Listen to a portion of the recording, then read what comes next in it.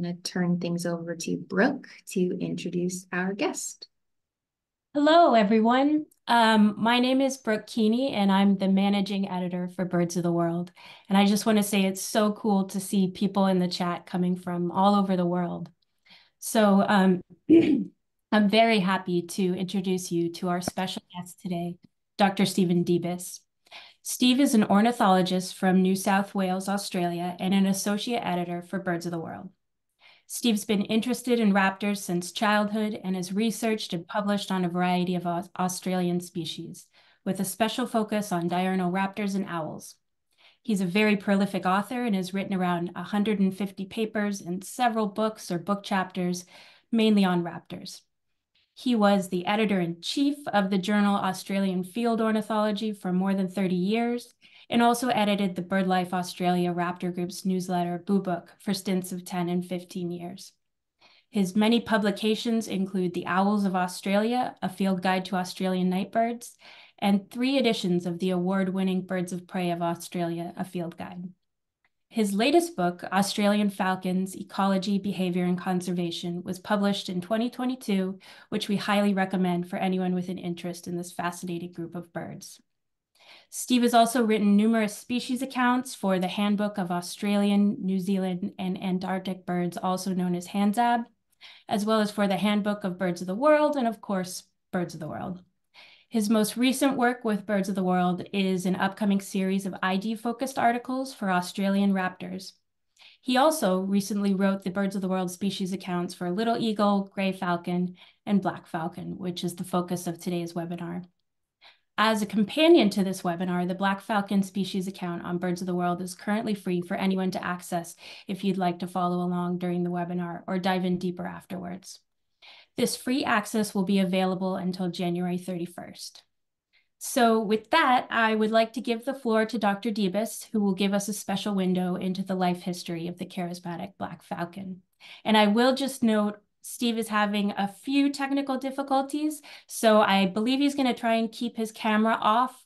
Um, but otherwise, thank you, Steve. We look forward to hearing more about Black Falcons. Uh, thanks very much, Brooke. Uh, I'd like to start with um, thank yous, of course, to the uh, Birds of the World team. I'm afraid I have to apologise for some technical difficulties here we had an electrical storm last night, and I keep getting a message on the screen saying um, I've got low bandwidth or um, unstable internet. So we'll proceed. And um, perhaps, Jessica, can you let me know if people can hear me? Yep, everyone can hear you just fine. Because uh, I'm afraid Brooke was breaking up quite a lot there. I couldn't hear some of what Brooke was saying. But anyway, we'll proceed and hope you can hear me. Um, I'll I'll stop my video and concentrate on the uh, on the sound.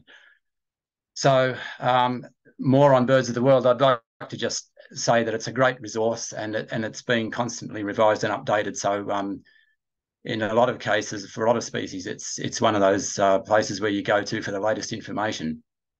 And so thanks to the team. Um, I'd like to welcome people that are that are joining this webinar and say that um, I'm happy for it to be interactive. Um, so I'm quite happy to stop for any questions um, along the way. And again, I might have to ask Jessica or, uh, to um, to let me know if there's any questions because I um, yeah I've got the video off. So um, yeah, quite happy for questions along the way. so just to introduce the Black Falcon, it's uh, the, the recent DNA evidence shows that it's one of the Hierofalcon group, or otherwise known as the Great or Desert Falcons. Um, so its relatives include the, the Lanner and the uh, Laggar uh, of India, which is its closest relative, and Gyrfalcon and Saker falcon. So it's one of those, um, yeah, birds, large falcons or large, medium to large falcons of, of open country um, and, and quite arid environments.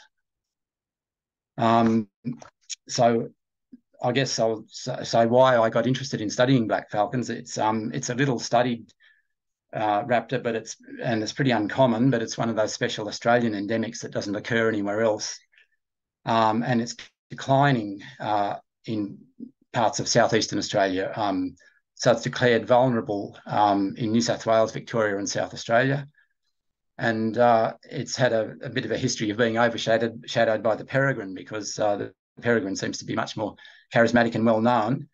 And also, black falcons are often confused with dark coloured brown falcons, um, which are a common sort of roadside uh, raptor that's kind of like an oversized kestrel in many ways.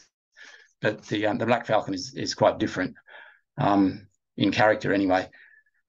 So I started off studying um, black falcons as, as, sort of a voluntary, unfunded um, study um, in which many colleagues uh, joined in at various stages. Um, uh, people like uh, David Whelan and Bernie McRitchie were um, uh, colleagues studying black falcons, um, and Leah Sang, uh, and then uh, of course the late Jerry Olsen was involved. Um, and then finally, um, an honours student at the University of New England, Alice Bauer, um, wanted to do a project on black falcons, so we we joined forces, and I was able to find her a few nests. And and uh, Fred Van Gessel joined in as a sound recorder, so we got some audio of their calls as well. And um, I had another colleague, David Charlie, who studied them on the coast, fairly close to me. Um, so yeah, it was a big collaborative effort. Um, and there are other names mentioned. If people refer to the Birds of the World account, they'll, they'll you'll see that there are many um, colleagues that uh, contributed in various ways to watching black falcon nests. They were mainly observational studies and um, dietary analyses uh, at the time, mostly in the early days anyway, by um, the late Tony Rose, who was uh, an associate of the Australian Museum, but but did uh, dietary analyses basically for the love of it. Um, so yeah, uh, it was yeah a big collaborative effort is what I'm trying to say. Um, uh, here I'm going to mostly follow the sort of the birds of the world account in terms of um, aspects of the life history of the black falcon, um, and people can refer to that account for more detail. But uh, as I said, it's a medium to large falcon. The male weighs about 600 grams in round figures, the female about 850 grams. So it's similar body size to peregrine, um, but it's got larger wings and tail, um, and much bigger sort of sail area.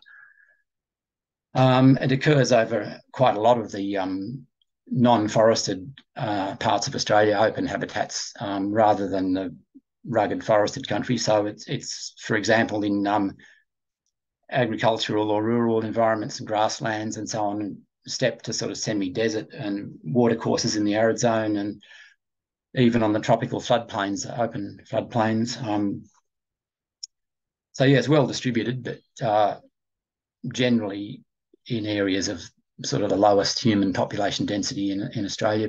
Most people are around the coast, but the black falcon's sort of an inland bird that does get to the coast in open environments. Um, so onto its movements, um, there's been no radio tracking or satellite tracking of black falcons, so there's not enough known about the movements of black falcons, but they're certainly capable of continental scale migration or other movements, um, where eruptions depending on seasonal conditions um, and food supply.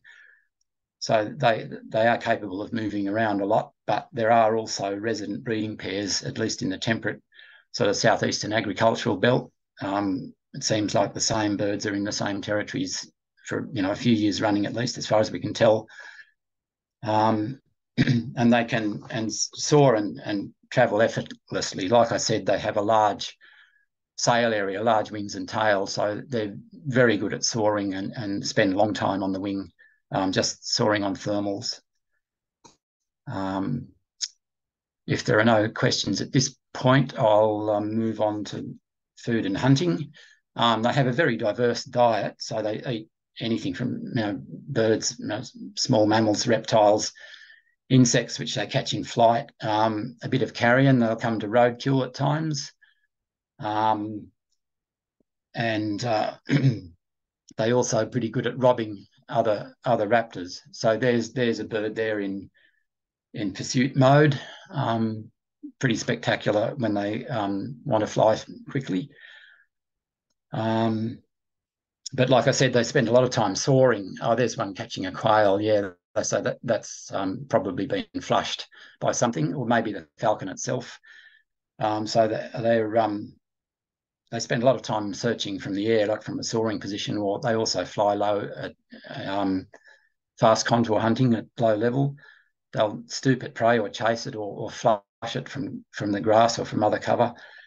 Uh, males and females will cooperate in, um, like members of a pair will cooperate to catch prey.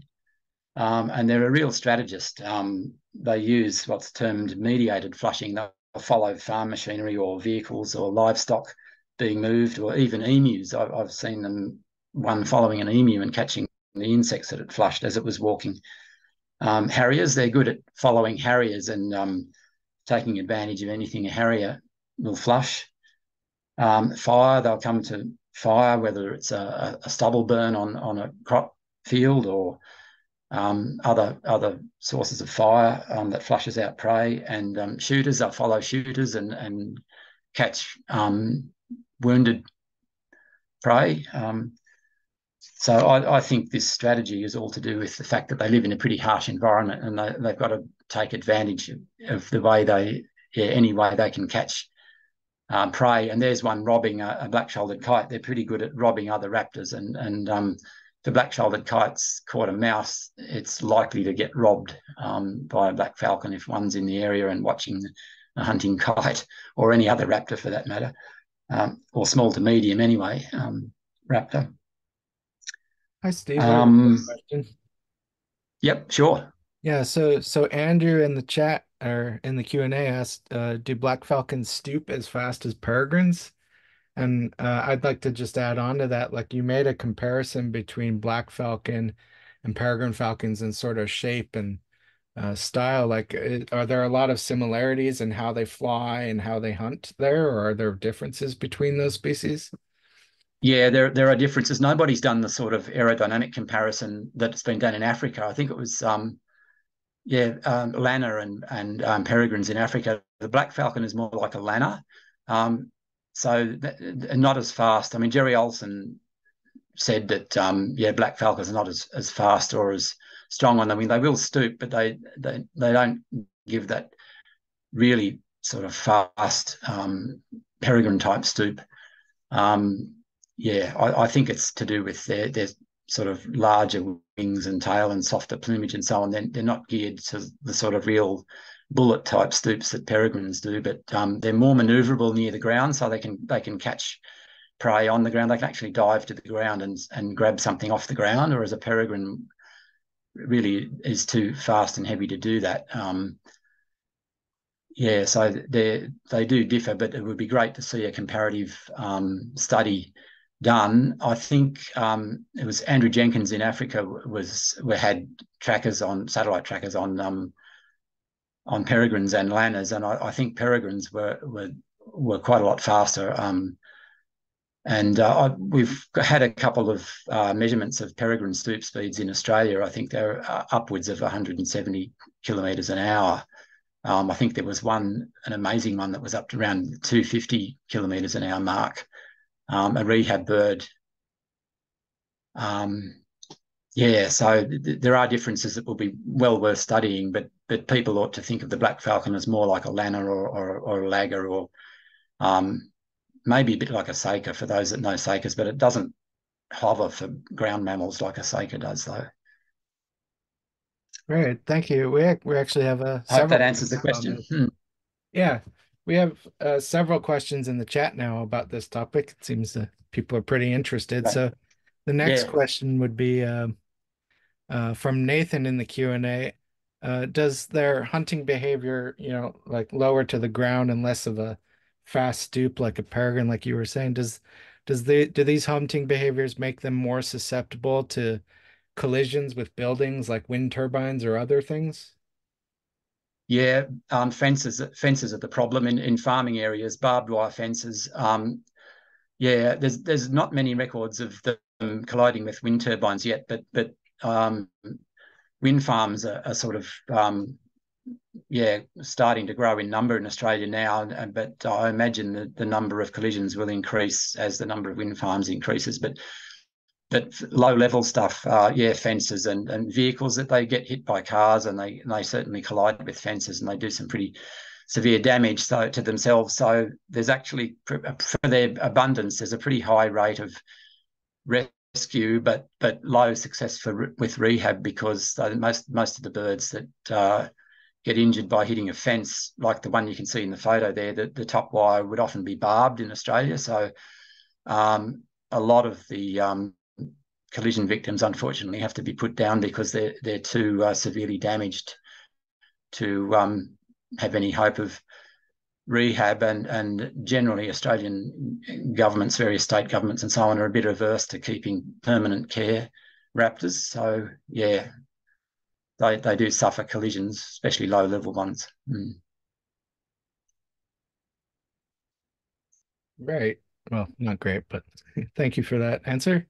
And we have a few more questions about their their sort of hunting styles. So another question for you is um what what size birds are black falcons usually successfully hunting and uh our uh, follow up to that is uh are black falcons as agile as say a goshawk when they're hunting birds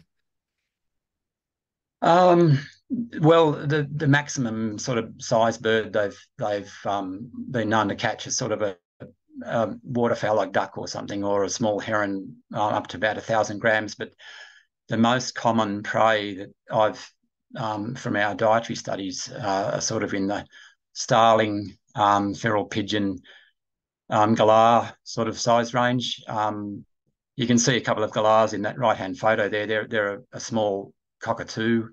Um, uh, they're about 350 grams or so. Feral pigeons are around about around about that or to 400 grams. Um, Corellas, they do take little Corellas, which are a, a, a, slightly larger cockatoo, up to about the sort of five or 600 gram range. But but they're, yeah, their most common sort of prey. And a stubble quail was about 100 grams. Those quail, they like quail, and so starlings are a bit under 100 grams. So a lot of their prey is um, yeah, maybe about a quarter of the weight of the falcon, or commonly. But yeah, they have quite a range of, of prey sizes. I mean, some shorebirds are in the sort of up to sort of two or three hundred grams. I guess um, masked lapwings are a fairly solid sort of shorebird. Um, and as far as the the hunting methods, yeah, they're, they're certainly more agile near the ground than than um, a peregrine. I'm not sure about goshawks. They they will chase prey in and around vegetation. I, have I've, yeah, but um, yeah, whether they're as good as a goshawk, uh, I think that the, the different wing shape might mean they're not quite that agile. They generally prefer to take prey in flight, or but they can pounce to the ground to take things. But I don't think they plunge into vegetation as much as a, a goshawk would, and they generally don't occur in um, um, habitats, um, dense habitats, like dense wooded habitats. So yeah, that they, they, occur where the trees are fairly sparse as, as a rule. Mm.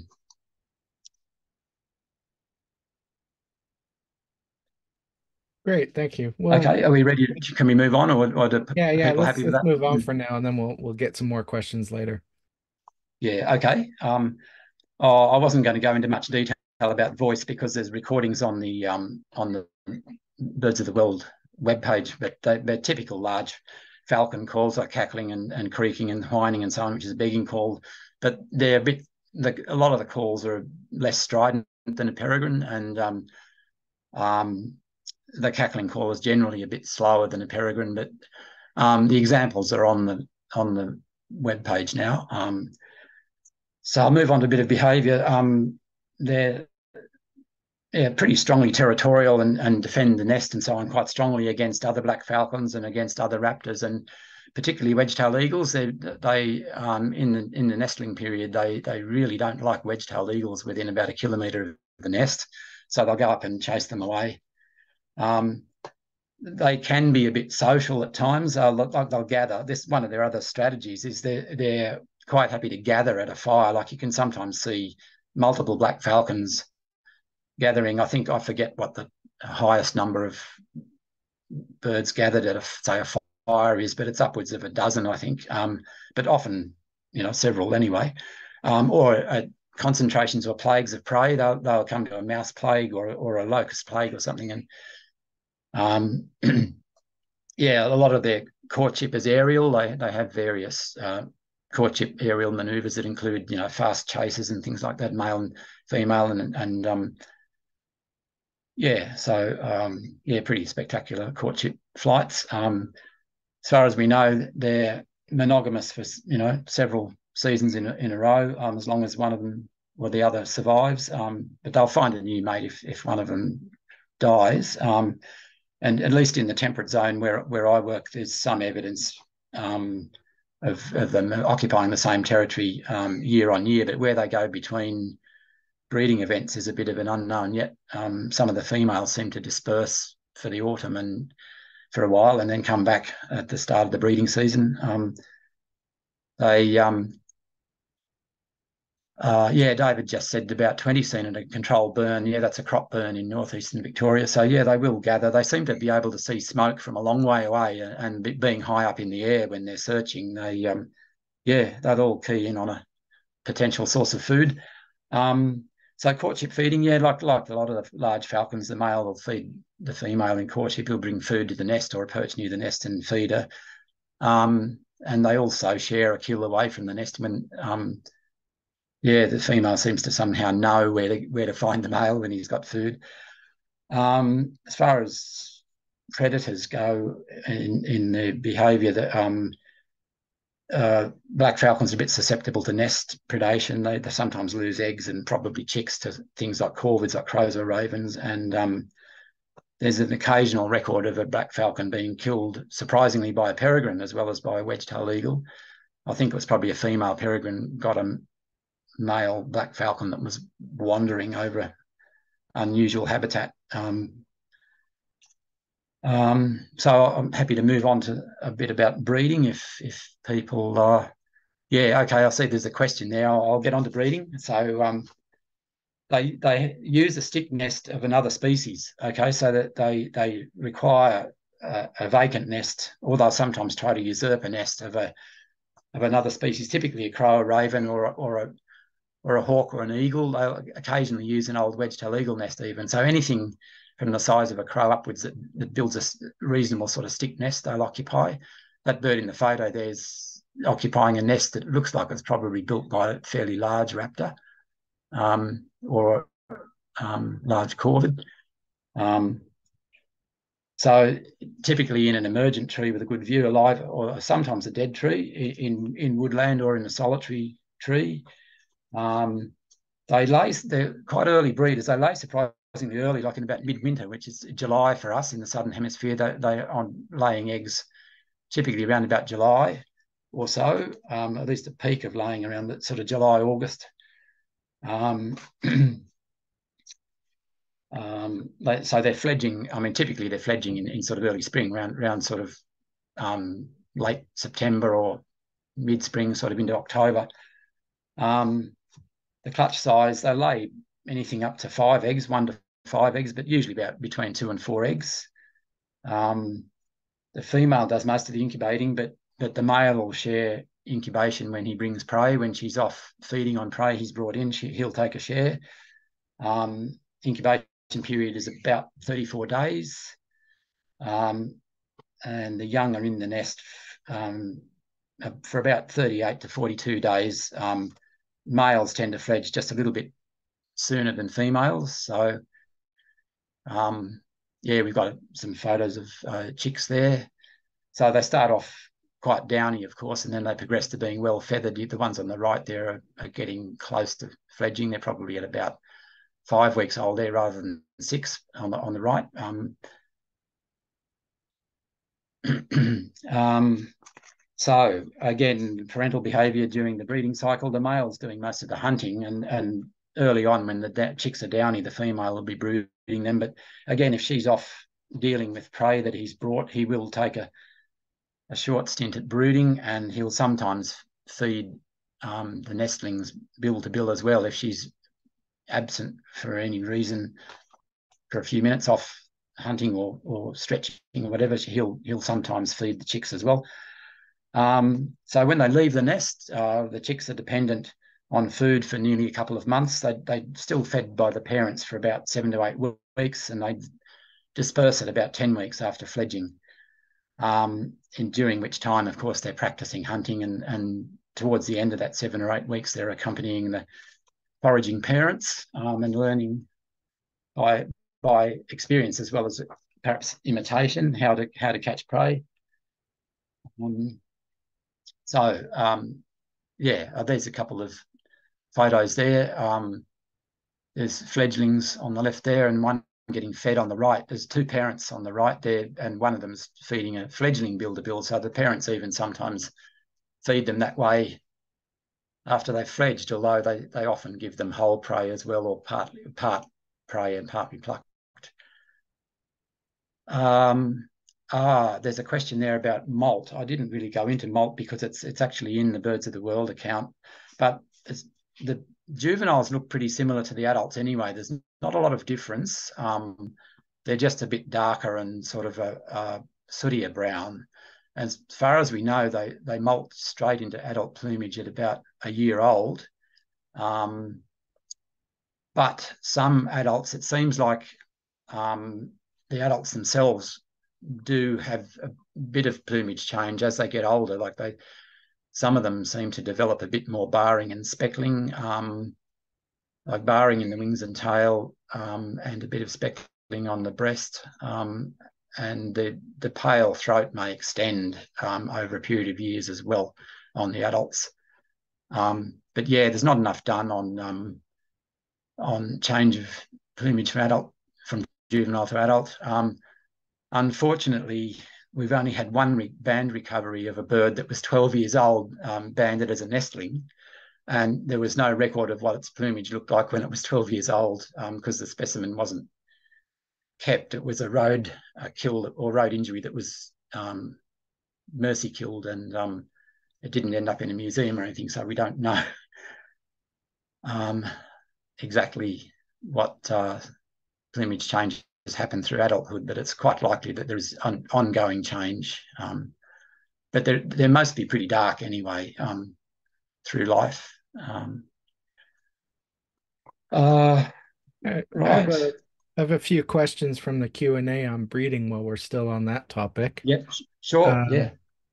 So Lucille in the Q and A asks, "Are insects a big problem for the nestlings? There seem to be many insects around the nest." I, I think she might be talking about like parasites and other sort of things that hang around nests. Um, oh yeah, I see what you mean in the photo. I, Oh, as yeah. far as I know, there's not a not. A, I mean, you'll get flies coming to a bit of carrion around the nest. If there's uneaten food, there'll be some flies. Um, there is a parasitic fly that sometimes um, manages to um, lay an egg on a on a nestling that um, the larva will, will, burrow into the, the the roots of a growing flight feather. But um, I haven't heard of them being a major problem. I'm, I'm, not sure. I don't think that's a cloud of insects around that nest. It might be just a, a, an issue with the photo or the screen or something. But um, yeah, to my knowledge, there's there's not a major problem. Of course, flies are very abundant in the Australian inland anyway, um, of various kinds, mainly sort of bush flies and, and house flies. Um, but yeah, I, I, don't have enough information on that particular subject. But the adults, of course, um, will catch flying insects, mainly mainly grasshoppers and locusts and beetles and so on. Um, as a supplement to the diet. And the, the young ones, when they fledge, they'll, they'll start catching insects before they can catch anything bigger. Um, yeah, hopefully that sort of answers the question. Yeah, thank you. I'll I'll ask uh, one more from the Q and A before we move on to and more topics. Um, so uh, where did it go? Uh, Janice asks, is is it common among falcons in general that males tend to fledge before females, or is that something unique to black falcon? Yeah, I think it's pretty normal. It's just because the females are larger and they grow a little bit more slowly, or they take a little bit longer to reach adult size and uh, uh, body size, that is. And yeah, I, the males just seem to me to be a bit more adventurous and agile as well. Um, so it's pretty pretty normal, I think, in in the medium and large falcons at any rate. And um, yeah, it's only a matter of a day or two. I mean, you know, the, the, most of them are fledging around about the 40 day mark. Um, you know, some males might fledge at sort of 38, some females might linger in the nest till about 44. And it may also depend on hatch order and, and how people measure the nestling period. Um, yeah, so per bird, it's probably pretty close to the, the 40 day mark, but um, um, they hatch almost synchronously, so they fledge almost synchronously as well. Um, but yeah, there might be that spread of a day or two between when when the last um, one leaves the nest versus the first. And in, in a big brood of four, the youngest one might also be a little bit um, slower to develop if it's not getting as much food. So yeah, there's various reasons why a large brood there might be that spread of fledging dates. Mm. Thank you.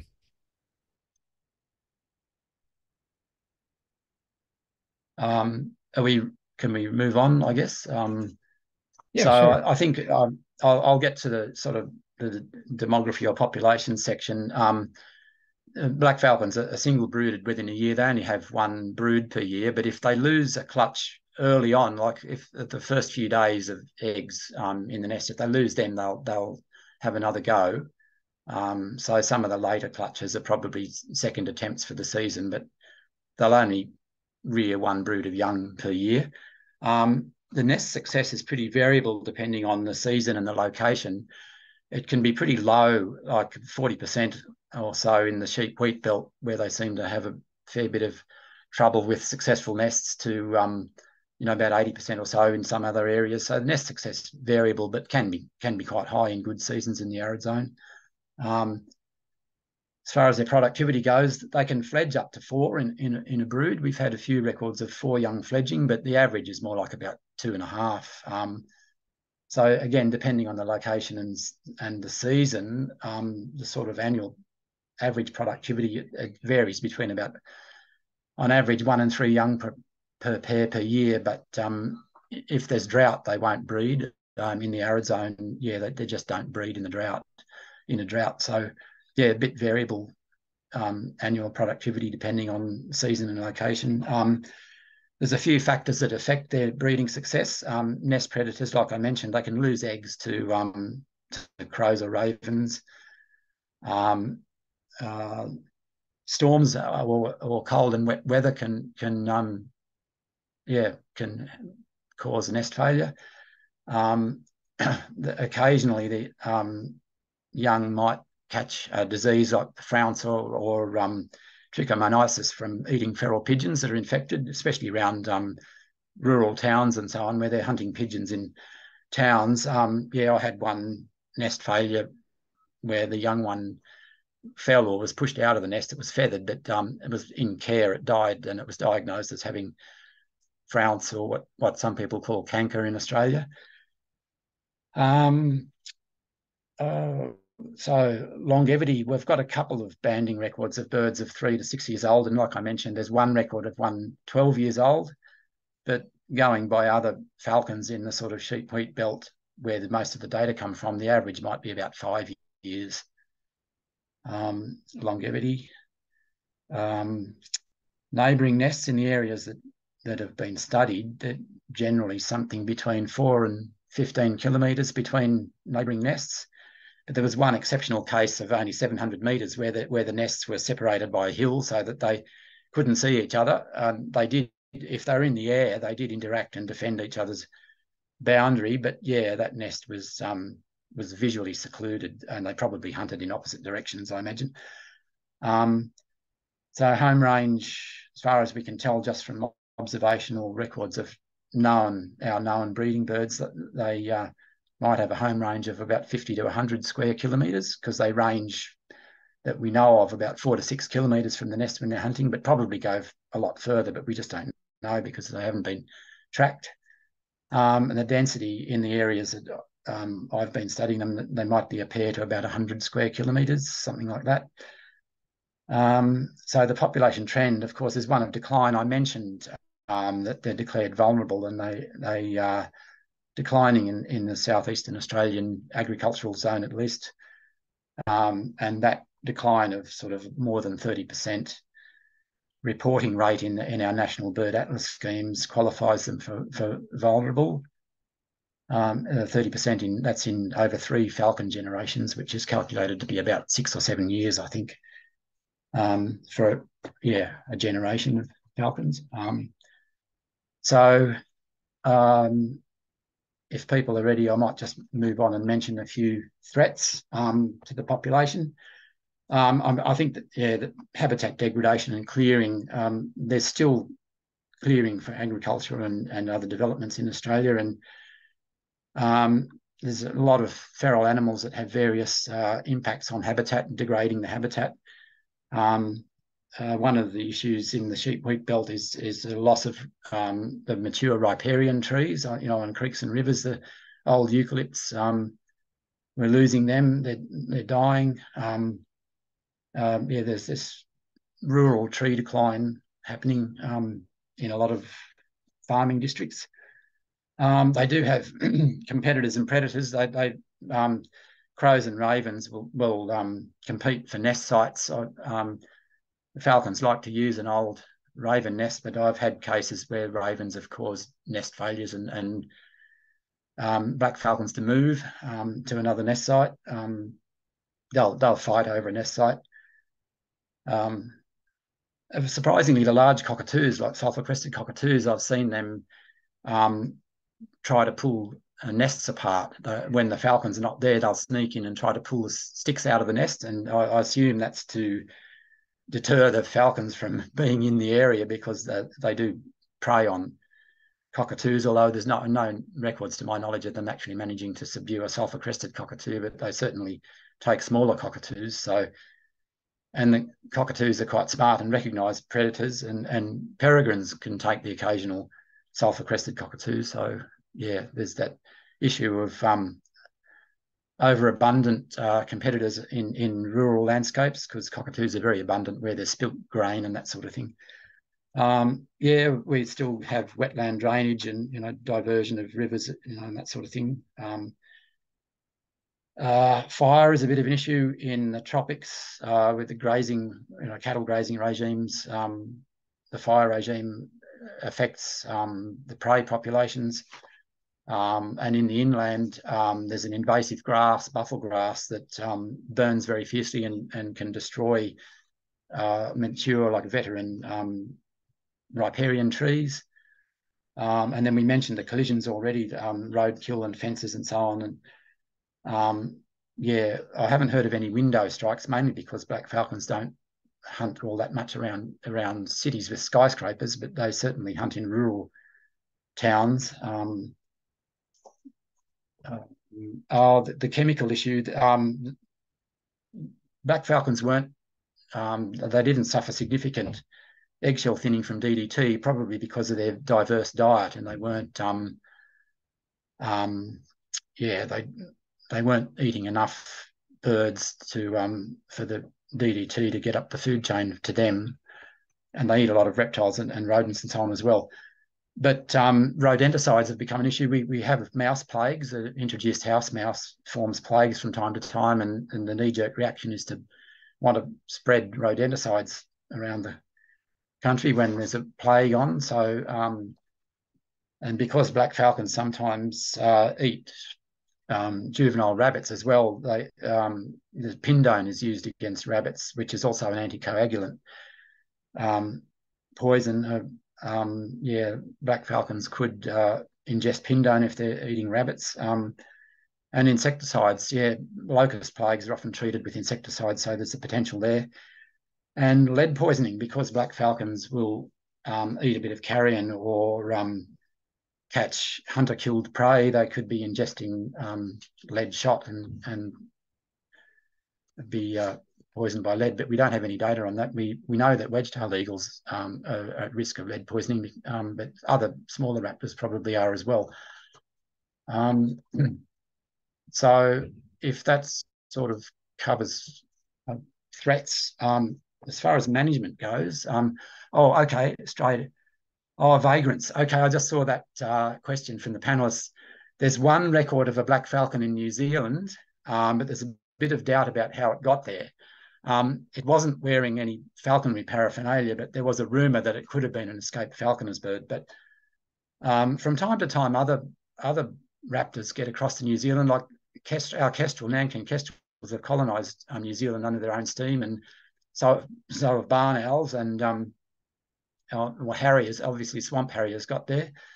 Um, so that that black falcon could have, um, yeah, made its own way to New Zealand. That's that's the only extraliminal record I'm aware of. And The only one that's in the literature is, um, yeah, the New Zealand one. Um, I have a I have a few more questions relating to threats yep. that uh, apply sure. to black falcon. Yep.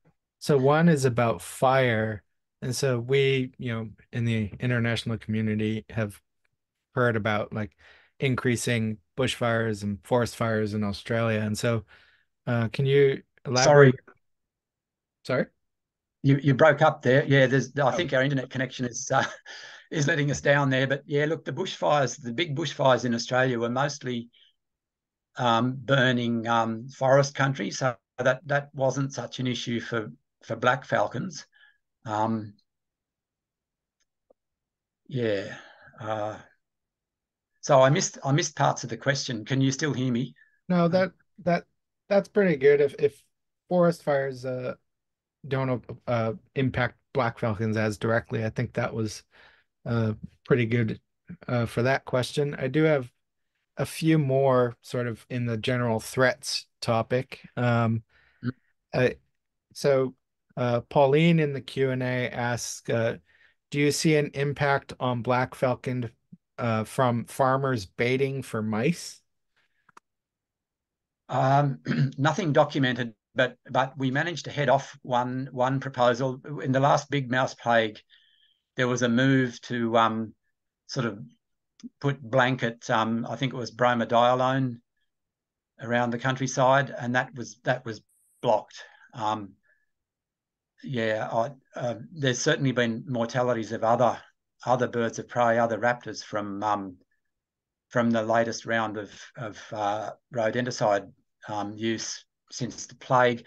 We also um, there also are people working on um, at the moment as as we speak. There are people doing um, uh, autopsies, like analyses of of uh, raptor carcasses, raptor and owl carcasses. So I, I don't know what the the present um, result is on that, um, except to say that we suspected pindone might have been affecting little eagles, but but so so far, no little eagles turned up with with pindone in them.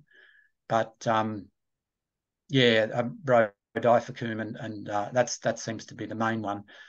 Um, of, of concern. Um, there are moves to um, to restrict um, the availability of some of these second generation rodenticides to to licensed pest controllers. You know, with, with stricter rules on what they do with the with the baits and and and the carcasses. Um, you know, the target carcasses. So hopefully. Things will improve in that respect, and and BirdLife Australia is carrying a, a, a big campaign against, you know, sort of just the indiscriminate private use of, of second generation uh, anticoagulants.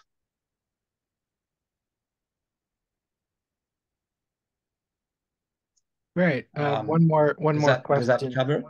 Yeah. Yep. Sure. Uh, one more question, and this sort of gets into management, which you might be talking about next. So just feel free to dive into that topic. But the question mm. is, uh, is is there a possibility of artificial nests as a means of uh, helping black falcon populations?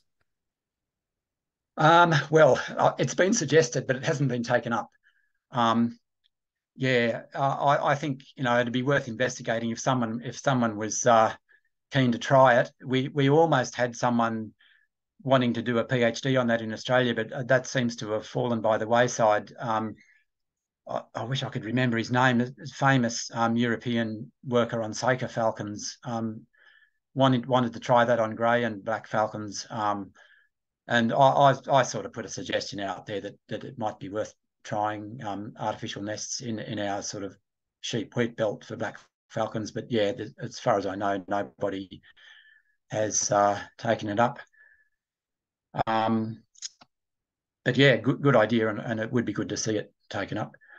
Um, yeah, the only the only other thing I was really going to say about management um, was that um, at the moment the only the only real sort of uh, management happening is uh, black falcons are, are protected um, in the large sort of inland protected areas like no, reserves like national parks and nature reserves and indigenous protected areas and now there's quite a few um, private um, reserved areas by um, the Australian Wildlife Conservancy and Bush Heritage Australia and so on and, and like sort of organisations where there's yeah I, I think at the moment the main thing that's being done for black falcons is sort of uh, incidental. It's just that there's a there's a growing number of um, large inland protected areas. Um, yeah, there's there's a little bit of hands-on rehab, but it, but that wouldn't contribute to the population as such. Um, yeah, and and I mean, we we try to persuade people not to have barbed wire fences, but I, I you know, it probably falls on deaf ears as far as um, livestock graziers go because it's just standard practice to have barbed wire on the top of every you know cattle paddock and that sort of thing. Um, yeah. Any uh, any more questions on management? On um, or will, we move on or?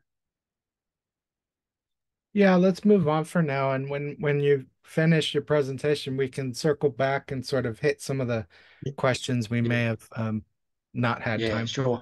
Well, I was I was just going to mention a, mm, sorry, I was just going to mention a few of the um, I guess a few of the research gaps or needs or whatever. Um, and and there's a there's a fair list in the Birds of the World page. Um, but yeah, I'd like to, you know, it'd be great to see some some work on home range and habitat use and movements by by telemetry and, and more banding. There's there's hardly any banding going on of black falcons these days, and um, no no telemetry yet. But it'd be great to uh, see that. Um, you know, some long term monitoring of of territory occupancy and and breeding productivity in some sample locations around the country. Um, some uh, yeah we mentioned the comparative aerodynamics with uh, with peregrines. Um, there's there there's lots of other aspects of biology that would be worth looking into that they're sort of flagged on the on the on the web page. Uh, would be great to um, see some you know postgraduate student work on them um, phd or masters or whatever honors. Even there's some there's good populations of black falcons within easy reach of, of universities in adelaide and melbourne and even maybe in, in Queensland, like the, the, the Darling Downs country in Queensland would be within reach of some of the Southeast Queensland universities. Um, and of course, ordinary observers can, can, can contribute quite a lot. Um, uh, a, a, lot of those colleagues and studies I mentioned were, were done by amateur observers uh, collaborating. Um, so yeah, the, people can do some good observational studies. Um, um, and there's of course atlas schemes like like eBird and and we have our own um, Birdata, which is um, BirdLife Australia's ongoing atlas scheme, and there are state um, and federal atlas schemes as well. Um, we have BioNet in New South Wales, and there's the the national Atlas of Living Australia. So lots of things that people can contribute to. Um, yeah, like I said, a lot of the uh, literature has been con contributed to by amateur observers. Um, at this point, I'd just like to say a big thank you to um, Jessica for putting together the slideshow and the, and the photographers that contributed. Um, a lot of them are, are, in the Birds of the World account. Um, and David Whelan uh, supplied a few more for this um, for this slideshow. So yeah, thanks to all the people that uh, have helped make this uh, presentation and um, we can return to questions if people like. If there's if there's time left, we can uh, try to answer a few more questions. Absolutely. We can do at least several more questions. Uh, we've got the time. So I'm going back through the questions we may have uh, skipped over uh, in the Q&A. Um, so one of these is pretty interesting, and it's about how um, black falcon sort of fits into the broader landscape of raptors in Australia. Like there's a number of different species. Some of them some species are pretty similar to black falcon, like the brown falcon. So Sam asks, um, are there really significant ecological niche differences between the black falcon and brown falcon? Yeah, yeah, absolutely. The, the, the brown falcon has got. I don't know if people have seen photographs of brown falcons, but they've got fairly long legs. They they do a lot of perch hunting, like a kestrel. A brown falcon, I guess the best way to think of a brown falcon is like it's an oversized kestrel, and it does a lot of sitting on roadside posts and poles and you know dead trees and other things uh, you know on the tops of shrubs and so on in the inland.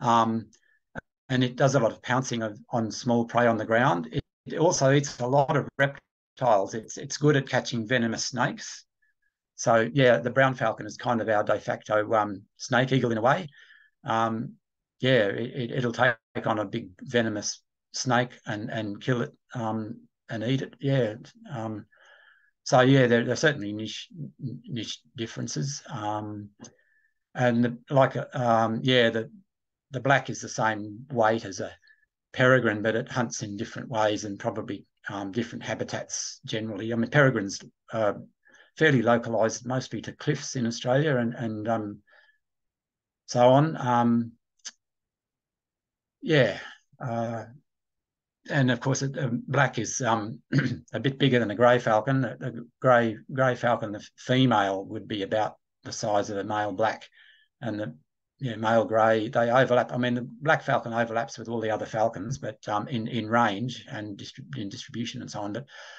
um, yeah, there are size differences which which translate to different um, size prey they can take. Um, grey falcons are almost purely a bird specialist. Um, so uh, whereas blacks are a lot more generalised. Um, uh, hobbies, uh, Australian hobbies are quite a bit smaller, although they take a lot of birds and insects and and and um, small insectivorous bats. So there's yeah, there's a size difference there. Yeah, but definitely yeah, niche separation. Great, thank you. Yeah, I just uh, saw a, a, a, thing pop up about falconry then um, and rehab. Yeah, in some states I think I mentioned it in the in the web page actually, but um, yeah, in some states uh, it's permitted to use um, like falconry or free flying techniques in rehab, but New South Wales is dragging the chain on that. Um, there's a few myths floating around in the sort of government service about about uh, yeah malimprinting and starvation rations and so on, which are which are rubbish. But you know, the bureaucracy is what it is, I suppose. Um, but yeah, some states allow the techniques to be used in rehab. Mm. Great. Um, yeah. I so, just, any more questions? I have a I have a few more questions. So people were really uh, interested in the topic of uh, prey and hunting. So there's there's two questions yeah. here about um, specifically about robbing behavior. And so one question: yeah. Do black falcons always rob in flight? And the follow up question is do they change uh, their so, robbing? Sorry. So, so uh, do... I'm, I'm sorry, um, Nick. I just lost. I just had a message flash up that the internet connection's unstable, so I missed part of that. You okay, I, I I can repeat if you can hear me now. Yeah, yeah, it's better now. Thanks. Okay, so so the so do black falcons always rob prey from other raptors in flight? And the second part is do they change their robbing behavior based on drought or other environmental conditions? Um, well, the, the first part is um, yeah, a lot of the robbery is in flight, but but they're also pretty good at um, dominating a carcass. Like if they come to a like a dead rabbit or something, they're pretty bold, so they're able to do both. They, they, yeah, a lot of the robbery I've seen has been in flight, but but they they are also capable of dis- displacing um, raptors up to about their own size or a bit larger, like a whistling kite or something. They, they can actually dominate or intimidate other raptors at a carcass on the ground because yeah they they'll they'll swoop in and behave aggressively. They're quite they're quite aggressive falcons when they want to be. Um, yeah. Um, and, was and there, so there was, was there another Robin, part to that? Yeah, so the robbing behavior, is that something they do more uh, in times of drought or difficult, oh, uh, tough conditions? Yeah, look, I, yeah, I'm not sure about that. Um, I, have I've certainly seen it happen at various times, and and um, I don't think anyone's really quantified it, but but um, yeah, I, have seen them robbing during the breeding season. I, I saw one rob a, a black shouldered, uh, I mean, a black kite once of, of a probably a, a human discard, like a bone or something, and it, and it, it it grabbed it from the black kite and then then it apparently inspected it and then dropped it. Thought it was not good enough to take back to the nest, but um, yeah, fresh carrion. Like in another case, um, yeah, there was one robbed a, a fresh roadkill eastern rosella from a from a whistling kite that had picked it up, and it took that to the nest, I think. But they're pretty selective. Um, they don't take carrion to the nest generally. Um, um, in at other times of year, I, I suspect um, I suspect yeah, wintering birds, um, yeah, um, juveniles or, or first year birds that are um, they they'll readily rob other raptors. Yeah, so I think it's an all year round thing, and, and um, maybe maybe uh, yearlings that are honing their hunting skills might might indulge in it a bit more than breeders, because breeders often bring their own caught prey back to the nest, as far as we can tell. Mm.